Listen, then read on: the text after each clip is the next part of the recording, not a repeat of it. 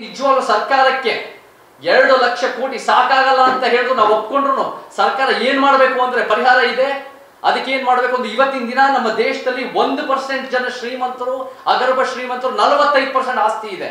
ಅದೇ ಬಡ ಐವತ್ತು ಪರ್ಸೆಂಟ್ ಜನರ ಹತ್ರ ಕೇವಲ ಮೂರು ಪರ್ಸೆಂಟ್ ಆಸ್ತಿ ಇದೆ.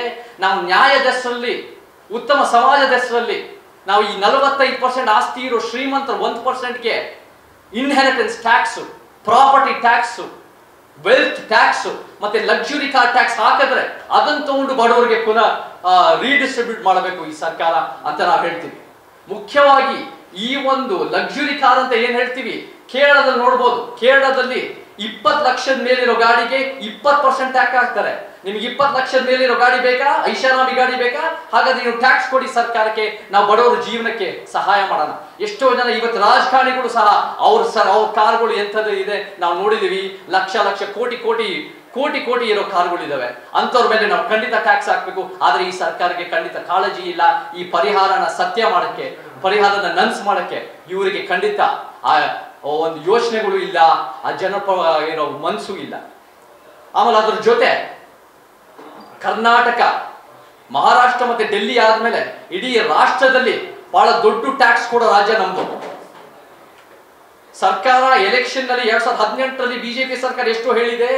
ನಾವು ಕೇಂದ್ರ ಸರ್ಕಾರ ನಮ್ದು ಬಿಜೆಪಿ ಒಂದೇ ಇದ್ದಾಗ ನಾವು ಜನಪರವಾಗಿ ಮಾಡ್ಕೊಡ್ತೀವಿ, ಕೇಂದ್ರದಿಂದ ಸಹಾಯ ತರ್ತೀವಿ ಅಂತ ಹೇಳಿದರೆ ಆದ್ರೆ ಇವಾಗ ಕಷ್ಟದ ನರಳ್ತಾ ಇದ್ದಾಗ ಇವಾಗ ಕಾರ್ಮಿಕರ ಜೀವನ ಕಷ್ಟ ಇದ್ದಾಗ, ಕರೋನಾ ಸಂಕಷ್ಟ ಇದ್ದಾಗ ನಮಗೆ ಕೇಂದ್ರದಿಂದ ಜಾಸ್ತಿ ನಮ್ಗೆ ಟ್ಯಾಕ್ಸ್ ಕೊಡಬೇಕು, ಅದನ್ನ ಬಳಸ್ಕೊಂಡು ನಮಗೆ ನಿಜವಾಗ್ಲೂ ಸಹಾಯ ಮಾಡಿಕೊಡಿ. ಆದರೆ ನಿಮಗೆ ಮನಸ್ಸಿಲ್ಲ ನೀವು ಕೇವಲ ಶ್ರೀಮಂತರಿಗೋಸ್ಕರ ಈ ಮೂವತ್ನಾಲ್ಕು ಏನು ಬೃಹತ್ ಕಾರ್ಪೊರೇಟ್ ಕಂಪನಿಗಳು ಟಾಟಾ ಕಿರ್ಲ ಟೊಯೋಟಾ ಕಿರ್ಲಾಸ್ಕರು ಟಾಟಾ ಡಾಲ್ಮಿಯಾಗೆ ನೀವು ಕೊಡ್ತಾ ಇರ್ತೀರಾ? ನೀವು ನಿಜವಾಗ್ಲೂ ಸಾಮಾನ್ಯ ಜನರಿಗೆ ನಿಮಗೆ ಕೊಡೋ ಒಂದು ಮನಸ್ಥಿತಿ ಇಲ್ಲ ಈ ಸರ್ಕಾರಗಳಿಗೆ ಹಾಗೇನೆ ಇವಾಗ ಎಷ್ಟೋ ಕಡೆಯಿಂದ ಬರ್ತಾ ಇದೆ, ನಮ್ಮ ಕಾರ್ಮಿಕರು, ನಮ್ಮ ಬಸ್ ನೌಕರರಿಂದ ಎಲ್ಲೋ ಒಂದ್ ಕಡೆ ನಮ್ಮ ಪ್ರಯಾಣಿಕರ ಕಷ್ಟ ಆಗ್ತಾ ಇದೆ ಅಂತ.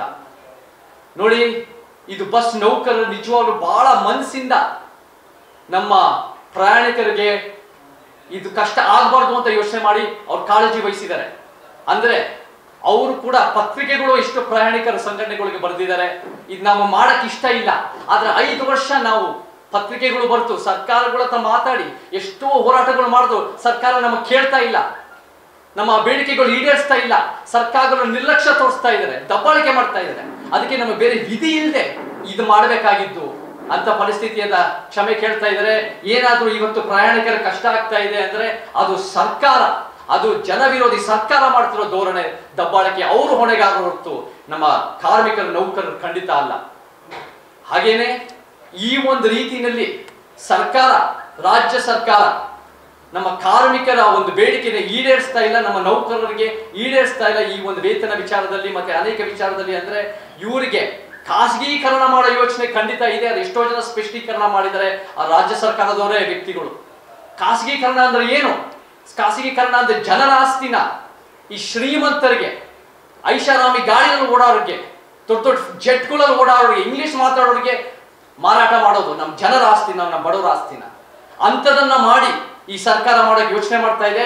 ಈ ಸರ್ಕಾರ ಮುಖ್ಯವಾಗಿ ಏನ್ ನಮ್ಮ ನಮ್ಮ ಬಸ್ ನೌಕರರು, ಸಾರಿಗೆ ನೌಕರರು ಒಂದು ಸೇವೆ ಮಾಡ್ತಾ ಇದ್ದಾರೆ. ಅದನ್ನ ಮರೆತು ಈ ಒಂದು ಶ್ರೀಮಂತರಿಗೋಸ್ಕರ ಪ್ರಾಫಿಟ್ಗೋಸ್ಕರ ಶ್ರೀಮಂತರ ಆರ್ಥಿಕ ಲಾಭಕ್ಕೋಸ್ಕರ ಮಾಡ್ತಾ ಇದ್ದಾರೆ. ಇದೆಲ್ಲ ಪ್ರಯಾಣಿಕರಿಗೂ ಜನಸಾಮಾನ್ಯರಿಗೆ ಬಹಳ ಕಷ್ಟ ಆಗತ್ತೆ.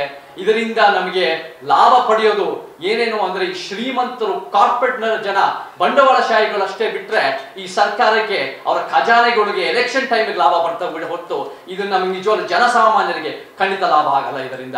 ಜನಸಾಮಾನ್ಯರಿಗೆ ಈ ಖಾಸಗೀಕರಣ ನಷ್ಟ, ಬಹುಶಃ ಈ ನಮ್ಮ ಸಾರಿಗೆ ಕಾರ್ಮಿಕರನ್ನ, ನೌಕರನ್ನ, ಅವ್ರನ್ನ ಗವರ್ಮೆಂಟ್ ಎಂಪ್ಲಾಯೀಸ್ ಮಾಡದಿರೋ ಕಾರಣ ಏನಂದ್ರೆ, ಈ ಖಾಸಗೀಕರಣ ಮಾಡೋ ಒಂದು ಹುನ್ನಾರ ಇಟ್ಕೊಂಡಿದ್ದಾರೆ. ಆ ಒಂದು ಉದ್ದೇಶ ಇಟ್ಕೊಂಡಿದ್ದಾರೆ. ಅದೇ ಇವರ ಯೋಚನೆಗಳು ಅಂತ ಹೇಳಿದ್ರೆ ಸುಳ್ಳಲ್ಲ ಹಾಗೇನೆ ಇಟ್ಕೊಳ್ಳಿ ಸ್ನೇಹಿತರೆ, ನಮ್ಮ ಸಾರಿಗೆ ಕಾರ್ಮಿಕರು ಅವರ ಕಷ್ಟಗಳು ಕೇಳಿದಾಗ ನನಗೆ ಬಹಳ ನೋವಾಯ್ತು. ನಾವು ಎಷ್ಟೋ ಮನೆ ಮನೆಯಲ್ಲೂ ಅವರು ಕಣ್ಣಲ್ಲಿ ನೀರು ಹಾಕಿರೋದು ನಾವು ನೋಡಿದೀವಿ. ಇವಾಗ ನಿನ್ನೆ, ಮೊನ್ನೆ ಎಷ್ಟೋ ಜನ ಒಬ್ಬರು ಇಬ್ರು ಇವಾಗ ಆತ್ಮಹತ್ಯೆನೂ ಮಾಡ್ಕೊಂಡಿದ್ದಾರೆ. ನಿನ್ನೆ. ಮತ್ತೆ ಹಾಗೇನೆ ಸಾರಿಗೆ ಬಸ್ ಡ್ರೈವರ್ ಆಗಿರ್ಬೋದು, ಮತ್ತೆ ಕಂಡಕ್ಟರ್ ಆಗಿರ್ಬೋದು, ಮೂವತ್ತು ದಿನ, ಒಂದು ತಿಂಗಳಲ್ಲಿ ಹದಿನೈದು ದಿನ ಅವ್ರು ಬಸ್ಸಲ್ಲೇ ಮಲ್ತಾರೆ ಅಲ್ಲಿ ಮಳೆ ಬರ್ತಾ ಇದೆ, ಸೋರ್ತಾ ಇರುತ್ತೆ, ಸೊಳ್ಳೆ ಕಡಿತಾ ಇರುತ್ತೆ, ಅವ್ರಿಗೆ ಕಷ್ಟ ಇರುತ್ತೆ, ಅವ್ರಿಗೆ ಟಾಯ್ಲೆಟ್ ಫೆಸಿಲಿಟಿ ಇರಲ್ಲ. ಈ ಕಷ್ಟದಲ್ಲೂ ಇದ್ರು ಕೂಡ ಅವರು ಇಡೀ ಏಷ್ಯಾ ಖಂಡದಲ್ಲಿ ಉತ್ತಮ